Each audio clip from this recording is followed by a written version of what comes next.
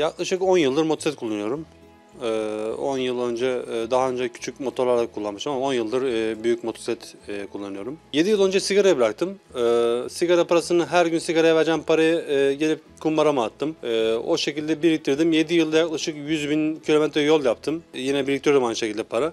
Bu sene de Balkan ülkelerinde dolaşmayı planlıyorum o parayla. E, 7 yılda, ort, e, yılda ortalama sigara parasıyla 4000 5000 lira yakın para biriktiriyorum. E, 4-5 bin liraya da e, çoğu yere gezebiliyorum. Sigara e, tabii çağımızın bayağı bir büyük sorunu aslında.